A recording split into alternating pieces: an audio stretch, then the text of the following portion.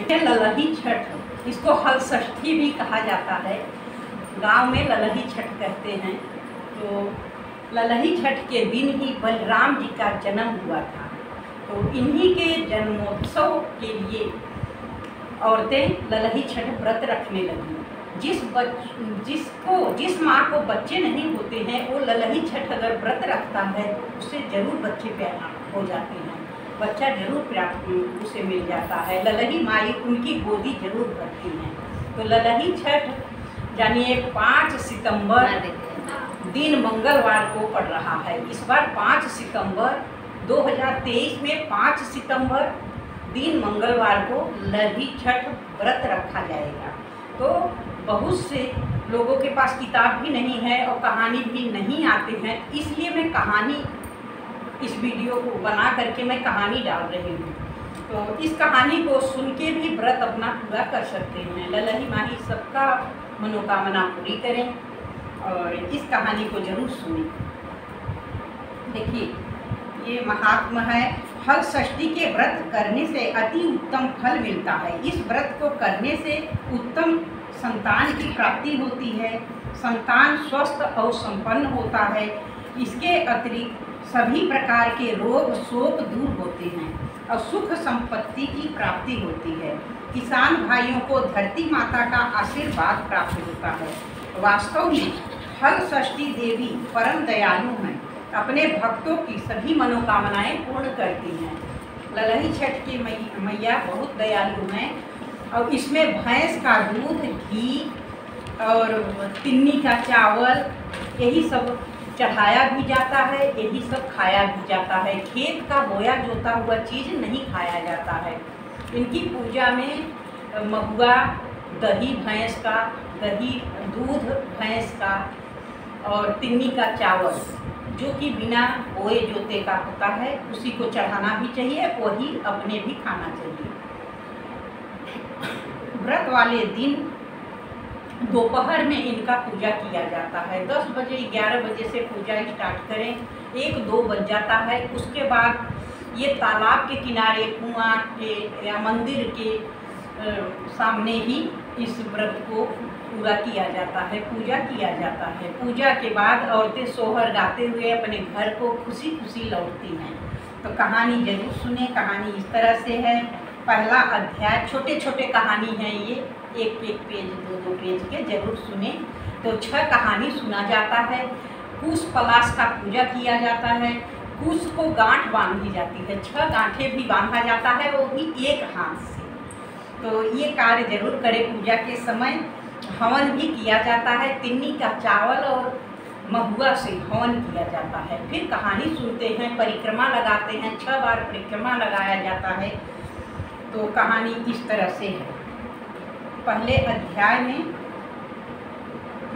अचानक अचानक पूर्व में एक राजा अपने परिवार सहित रहता था। वो प्रजा के सुख दुख का बहुत ध्यान रखता था। उसके राज्य में सभी सुखी थे। राजा अपने राज्य के हर गाँव में तालाब कुआँ बनवाता। लेकिन सभी तालाब में कुआँ सदैव सूखे रहते थे। तालाब में भी पानी नहीं होता था। राजा बहुत चिंतित रहते थे कि क्यों इतना मैं खुदवा रहा हूँ, परिश्रम कर रहा हूँ, लेकिन पानी नहीं आ रहे हैं।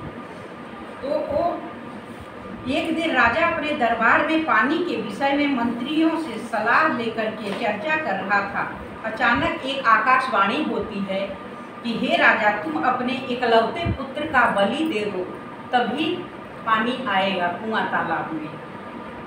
वरना तुम ऐसे ही पानी के लिए चिंतित रहोगे। तो आकाशवाणी को सुनकर दरबार में बैठे सभी लोग आश्चर्य में पड़ जाते हैं।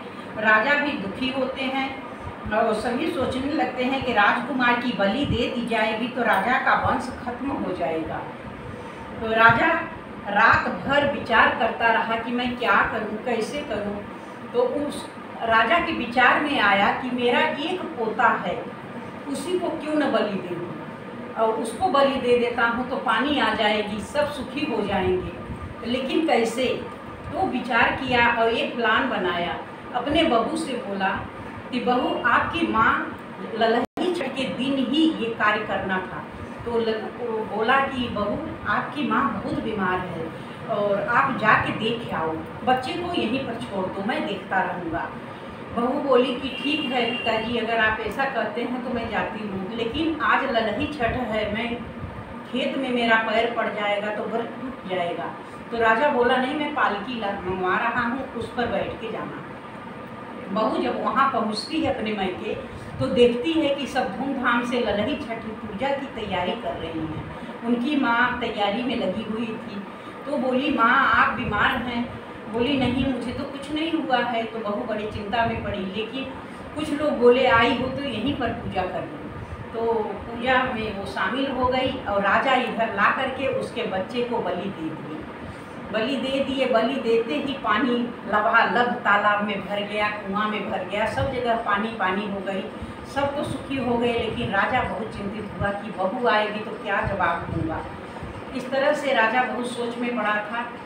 और बहू वहाँ तुरंत पूजा पाठ खत्म करके और प्रसाद लेकर के ज्यों ही आई, आने लगी तो बोली, मैं तालाब जो ससुर हमारे खुदवाए हैं, मैं उसको देखती चलूँ। तो देखने के लिए वो तालाब के किनारे आई तो देख रही है कि तालाब पानी से लबालब भरा है तो बड़ी चिंता में पड़ गई कि अरे, ये तो सूखा था, कैसे भर गया? फिर देख रही है कि अपना बच्चा वहीं खेलता हुआ मिला। तो अपने बच्चे को गोदी में ले करके और घर वापस आती है। बहू सागर में उतर कर प्रणाम करती है, हाथ मुँह धोकर आंचल फैलाती है और आंचल में उसका बच्चा खेलते हुए आ जाता है। बहू को बहुत आश्चर्य होता है, बच्चा यहाँ कैसे आ गया? और फिर दोनों घर पहुँचते हैं। यह सब हर षष्ठी माँ की कृपा से ही हुआ। राजा अपनी बहू से माफ़ी माँगता है, लेकिन साथ में बच्चे को देखकर बहुत खुश होता है। राजा बहू को आशीर्वाद देते हुए कहता है, यह तुम्हारे ही पुण्य का नतीजा है। राजा कहता है कि जिस तरह बहू के आत्मविश्वास और श्रद्धा के कारण हमारे घर में खुशी आई है, वैसे ही हमारे राज्य में सभी प्रजाजनों के घर में खुशी रही, सब खुश रहे। राजा ने अपने राज्य में घोषणा करवा दी कि अगले साल से हमारे राज्य में सामूहिक रूप से हल षष्ठी का पूजा होगा। जिस प्रकार हल षष्ठी माता की कृपा से राजा के घर में खुशियाँ आई, उसी प्रकार से सभी भक्त लोगों के सदैव खुशियाँ बनी रहे, सबके घर में खुशी आए। बोलिए हल षष्ठी मैया की जय। जयकारा ज़ोर से लगाया करो। दूसरी कहानी ये है कि रामपुर में एक किसान परिवार सहित रहता था। किसान के लड़के का विवाह हो चुका था। उसकी लड़की थी विवाह की योग्य हो चुकी थी। बहू लक्ष्मी और ननद रमा दोनों सहेली थी। ननद भौजाई दोनों सहेली थी। तो अब एक दिन माँ की आज्ञा लेकर साथ में कुदाली और टुकनी लेकर खेत जाती हैं दोनों। लक्ष्मी अपनी ननद से कहती है, तुम यहाँ पर बैठना।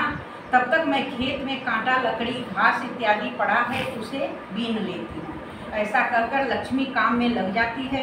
इधर रमा बैठी रहती है। वहीं पर नाग का भिसौड़ा था। रमा बैठे बैठे मिट्टी को खोद खोदते खोदते उसमें नाग के पाँच अंडों को भी फोड़ दिया। फोड़ देती है। इससे नागिन को बहुत गुस्सा आता है और रमा को काटने के लिए आती है। रमा चिल्लाते हुए दौड़ती है। इतने में रमा के पीछे नागिन को आते देख लक्ष्मी रमा को अपने पीछे करके नागिन से हाथ जोड़कर प्रार्थना करती है कि, हे नागिन कहती है, हे माँ, आप मेरी ननद की भूल को क्षमा कीजिए, बदले में आप जैसा भी कहोगी, मैं करूँगी। तो नागिन लक्ष्मी से कहती है, तेरी ननद ने मेरे पूरे वंश का नाश कर दिया है। क्या तू इसकी पूर्ति कर सकती है? लक्ष्मी सोचती है कि मेरे तो एक ही ननद है। यदि इसको कुछ हो गया तो मेरी सास क्या कहेगी? फिर हाल अभी इस परिस्थिति को टालना होगा। ऐसा सोचकर नागिन से कहती है, हे माँ, मैं आपके नुकसान को ज़रूर पूर्ति नहीं कर सकती हूँ, लेकिन वचन देती हूँ। इसके बदले में आप जैसा कहेंगी, मैं वैसा करूँगी। यह वचन देकर वो वापस आ जाती है। घर में किसी को कुछ भी नहीं बताती है। और समय धीरे धीरे बीतता रहा। रमा की शादी हो जाती है। अपने ससुराल चली जाती लक्ष्मी भी अपना वचन भूल जाती है। कुछ समय बाद लक्ष्मी एक सुंदर बालक को जन्म देती है।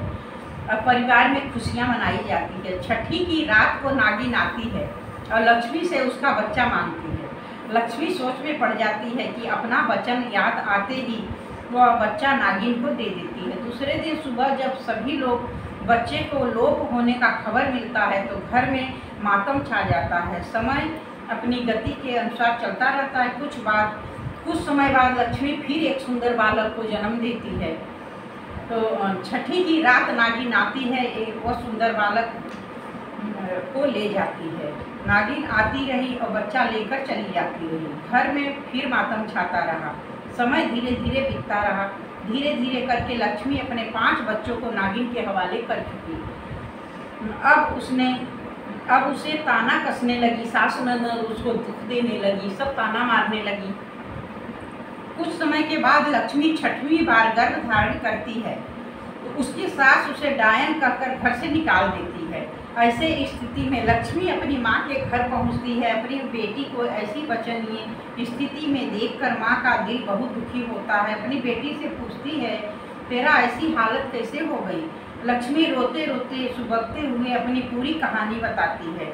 उसकी माँ सुनने के बाद सांत्वना देते हुए कहती है, तू चिंता मत कर, सुखपूर्वक यहाँ रह और धीरे धीरे सब ठीक हो जाएगा। समय आने पर लक्ष्मी एक सुंदर बेटे को जन्म देती है। छठे के दिन उसकी माँ घर के पिछवाड़े में गड्ढे खोद कर छह मठ की गाढ़ देती है। छह मठ की गाढ़ देती है। और उसमें क्रमशः लाई, जवा, बहेरा, महुआ, दूध, खीर भर कर रख देती है। रात में नागिन आती है तो चीज़ों को खाते खाते वो महुआ खाती है। तो बहुत प्रिय लगता है। उसके बाद वो खीर खाती है। इस प्रकार वो पूर्ण रूप से संतुष्ट हो जाती है। लक्ष्मी के पास आती है और कहती है ये बेटी, तुम अपने धर्म और वचन की पक्की हो। मैं तुम्हारे, तुमसे बहुत प्रसन्न हूँ। तुम वरदान मांगो। जो मांगोगी मिलेगा। तो लक्ष्मी कहती है, हे माँ, यदि तुम सचमुच प्रसन्न हो तो मुझे कुछ देना चाहती हो तो मेरी सभी संतानों को वापस दे दीजिए। नागिन तथास्तु कहकर अंतर्धान हो जाती है। जब लक्ष्मी माँ का ध्यान भंग होता है तो अपने सामने अपने सभी बच्चों को देखकर बहुत खुश होती है। कुछ दिन बाद अपने बच्चों सहित अपने ससुराल आती है। बहू को बच्चों सहित देखकर सास भी बहुत आश्चर्य होती है। लक्ष्मी अपनी सास को पूरी कहानी बताती है। तो सास उससे माफ़ी मांगती है और घर में फिर से खुशियाँ मनाई जाती है। इस प्रकार लक्ष्मी के घर में पूर्ण रूप से सुख शांति स्थापित हो जाती है। ये दूसरी कहानी है। तीसरी कहानी बोलिए ललही छठ मैया की जय। कोटा नगरी में दो भाई रहते थे। कांसी राम बड़े भाई का नाम कांसी राम था दूसरे भाई का नाम बंसी राम था। और बड़े की पत्नी का नाम काली और छोटे पत्नी का नाम लाली। तो काली के कोई संतान नहीं था लाली के दो बच्चे ठंगड़िया मुखड़िया मुंगड़िया। दो लाली के बच्चे थे, और सास अपने पोतों को बहुत प्यार करती थी। लाली प्रतिदिन घर का सारा काम निपटा कर शहर में दूध बेचने जाती, और शाम तक आती। शहर में लाली जिस जिस घर में दूध देती, वहाँ के लोग कहते, कल हमारे यहाँ कमर छठ की पूजा है। इसको कभी कोई कमर छठ भी कहते हैं। ललही छठ को कमर छठ भी कहा जाता है। इसीलिए तुम भैंस का दूध दही लेकर आना। पूजा करेंगे। अगले दिन लाली जल्दी उठकर बच्चों को नहला धुला कर तैयार करती है, बच्चों को समझाती है अपनी काकी को तंग मत करना। और एक मटकी में गाय का दूध और दूसरे में भैंस का दूध लेकर के वो बेचने जाती है। फिर वो चारों मटकिया पर निशान बनाकर उन्हें एक बड़ी टोकनी में रखती है। फिर वह शहर जाकर रोज की तरह दूध दही बेचती। कमर छठ की पूजा के लिए भैंस का दूध दही मांगते हैं। उन्हें भी गलती से गाय का दूध दही दे देती है। सबको, जो व्रती थी, सबको भैंस का दूध के बजाय गाय के दूध दे दी उधर घर में काली खाना बनाने के लिए चूल्हा जलाती है वह अपनी देवरानी के दोनों बच्चों को मारकर चूल्हे में लकड़ी के जगह जला देती है। खाना बनाने के बाद वह अपनी रसोई को अच्छी तरह साफ़ करके राख को समेट कर घर के बाहर फेंक देती है। इससे उधर कुछ देर बाद लाली को याद आता है कि भैंस के दूध दही का मटकी ज्यों का त्यों भरा रह गया। और वो दौड़ी दौड़ी महिलाओं के घर एकत्रित होकर पूजा की तैयारी कर रही थी। लाली हाथ जोड़कर सबसे कहती है, मेरे गलती को माफ़ करिएगा। मैं भैंस के दूध के बजाय गाय का दूध दे दी। दूध दही दे दिया था। अभी आप लोग पूजा शुरू नहीं की है, इसलिए उसे अलग कर दीजिए। भैंस के दूध दही से पूजा करिए। लाली भी वहीं बैठकर पूजा करती है। अपने गलती के लिए क्षमा मांगती है। इधर काली को आत्मगलानी होती है, वो मायके चली जाती है। जब लाली शहर से वापस आती है तो अपने बच्चों की आवाज़ लगाती हुई बुलाती है। तो ललही छठ की पूजा के प्रताप से उसके दोनों बच्चे जीवित हो जाते हैं। दौड़ते हुए आते हैं, बच्चे अपनी माँ को पूरी कहानी बताते हैं। अपने बच्चों को देखकर लाली बहुत खुश होती है और अपनी जेठानी को बुलाने जाती है। वो अपनी जेठानी को समझाते हुए कहती है दा दीदी जो हो गया सो भूल जाओ। आज हम दोनों एक प्रण करते हैं कि हम अगले साल ललही छठ की पूजा ज़रूर करेंगे। इस प्रकार देवरानी और जेठानी दोनों सुख शांति प्राप्त होती है। बोलिए छठ मैया की जय। ललही मैया की जय। अब चौथा कहानी ये है। रामगढ़ में एक ब्राह्मण परिवार था। ब्राह्मण का नाम रामलाल था और वो सरल स्वभाव का था। ब्राह्मणी ललिता क्रूर स्वभाव की थी। अभी उसके कोई संतान नहीं थी। उनके बच्चे पैदा होते ही मर जाते थे। इस प्रकार उनकी चार संतानें मर चुकी थी। कुछ समय बाद यहाँ पांचवी संतान उत्पन्न हुई। जब वह छठ मैया की माई की हो गई तो एक दिन ललिता अपनी रवताइन को बच्चा सौंप कर नदी पर नहाने चली जाती है। रवताइन बच्चे को खिलाते पिलाते सोचती है कि मेरे घर में नमक नहीं है, इसीलिए वो थोड़ा सा नमक ललिता के घर से निकाल कर ले जा, ले जाती है। बच्चा यह सब देखता है, हंसने लगता है। तब रवताइन पूछती है, तुम क्यों हंस रहे हो? तब बच्चा कहता है, अभी यहाँ मम्मी माँ नहीं है, इसीलिए तुम कुछ ले जाना चाहती हो, ले जाओ। रवताइन कहती है, मैं तब तक कुछ नहीं ले जाऊँगी। जब तक तुम हंसने का कारण नहीं बताओगी, तब बच्चा कहता है, पता नहीं, मेरी माँ ने पिछले जन्म में कितना नमक चुराया होगा। उसकी सजा अब तक मिल रही है। अब तक उसे कोई सुख प्राप्त नहीं हो रहा है। रवताइन कहती है, तुम उसके पास हो तो उससे बढ़कर क्या सुख चाहिए? बच्चा कहता है, मैं भी तो एक दो दिन में वापस चला जाऊँगा। तो रवताइन पूछती है, क्या कोई उपाय नहीं है?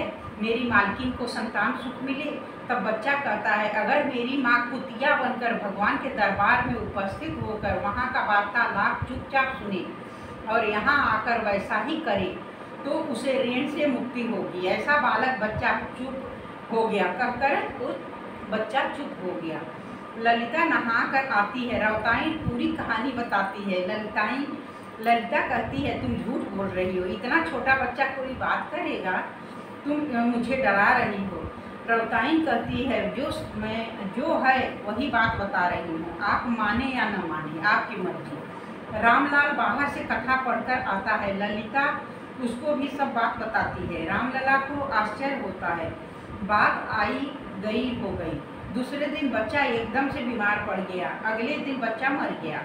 मर जाता है। ललिता को रवताइन की बात याद आती है। उधर रामलला अन्य लोग बच्चे को श्मशान ले जाने की तैयारी करते हैं। ललिता कुतिया का रूप बनाकर बच्चे के पीछे पीछे जाती है। बच्चा भगवान के दरबार में पहुंचकर बहुत खुश होता है। भगवान वहाँ पर बैठे हुए सभी बच्चों के से पूछता है कि, ललिता के घर कौन जाएगा? लेकिन कोई बच्चा जाने को तैयार नहीं होता है।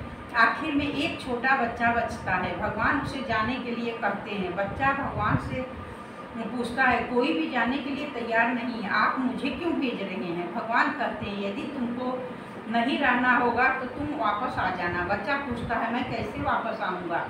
तब भगवान कहते हैं, तुम जो वस्तु न रहे, उसी को मांगना। अगर वो नहीं देगी तो रूट कर वापस चले आना। जैसे गर्मी के दिन में कीचड़ होते हैं तो धूल मांगना। अगर वो धूल नहीं देगी तो वापस आ जाना। तो वो तो कुतिया बन करके सुन रही थी। तो बोला, ठीक है। तो और अगर बुआ आए तो तुम गंदा कीचड़ लपेट कर बुआ की गोदी में बैठ जाना।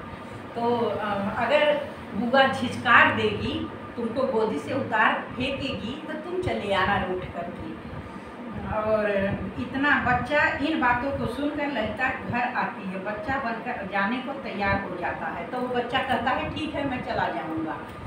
और वो कुतिया सब सुन ली, सब सुन कर के आती है। ललिता सब बातें सुनकर जल्दी घर वापस आती है। कुछ दिन बाद बच्चा होता है। धीरे धीरे बच्चा बड़ा होता है। साल भर के बाद ललिता मौसम के अनुरूप सभी चीज़ों को इकट्ठा करने लगती है। ननद को बुलाकर सभी बातें समझाती है। जब बहुत गर्मी पड़ती है तो बच्चा अपनी माँ से कीचड़ माँगता है। कीचड़ का वो कहे थे ना कि जब गर्मी पड़ेगा तो कीचड़ नहीं मिलेगी। तो कीचड़ माँगता है तो कीचड़ रखी थी मटका में भर के, वो दे दी। और फिर जब बरसात आया तो धूल माँगता है तो धूल भी वो दे दी। और फिर उसकी ननद जब आती है तो ननद के गोदी में कीचड़ उचड़ लगा कर बैठ जाती है तो ननद उसकी खूब उसको लाड प्यार करती है। तो बच्चा जो है, उसमें खुश हो जाता है। उठाकर प्यार करती है। उसी प्रकार ठंड में जो खिलौना, कपड़ा, मिठाई जिद करता है, माँ उसको सब ले आकर के देती है। बच्चा भगवान से कहता है ये ब्राह्मणी तो अब सुधर गई है। मुझे भी बहुत प्यार करती है। मैं क्या करूँ? भगवान उस बच्चे को समझाते हैं। इसके पुराने गलत कर्मों का दंड खत्म हो चुका है। इसलिए तुम अपनी माँ के पास रहो। अच्छे से रहो। ललिता अपने बच्चे के साथ खुशी से रहने लगी। जिस प्रकार ललिता के घर में खुशी आई, उसी प्रकार ललही छठ मैया सबके घर में खुशी दे ललही मैया सबकी मनोकामना पूरी करे। अब पांचवा अध्याय। बोरसी नामक गाँव में एक ब्राह्मण, उसकी पत्नी रहते थे। ब्राह्मण दीन, दीनानाथ सरल और सज्जन था। लेकिन उसकी पत्नी कमीनी और कठोर रूखे स्वभाव की थी। दीनानाथ अपनी पत्नी के स्वभाव के कारण विशेष परेशान रहता था। और हमेशा एक बात उसको चुभती रहती थी कि कोई संतान नहीं है मेरे यहाँ। किसी कामिनी ब्राह्मण कामिनी ब्राह्मण होकर भी पूजा पाठ, व्रत, उपवास आदि करती नहीं है। इसी तरह से कई साल बीत गए। दीनानाथ गाँव के बच्चों को बहुत प्यार करता था। उन्हें उनकी पसंद की चीज़ें लाकर देता था। एक बार दीनानाथ अपने गाँव के एक गरीब बच्चे को मीठी गोली दे रहा था।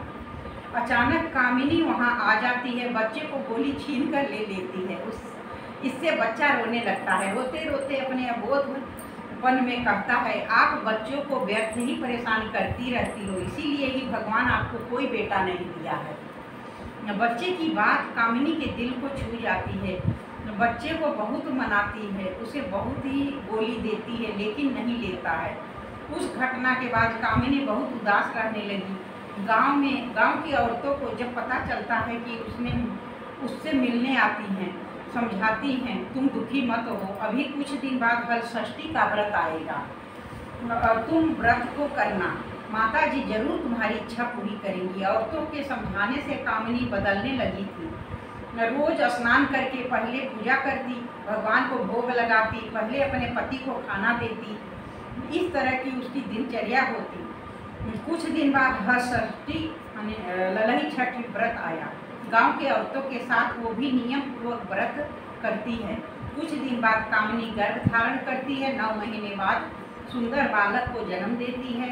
गाँव में खुशियाँ मनाई जाती है। इस तरह ललही छठ मैया कामनी क्या मनोकामना पूरी करी जैसे उनका मनोकामना पूरी करी वैसे सबका पूरी करें। जय ललही छठ मैया की जय।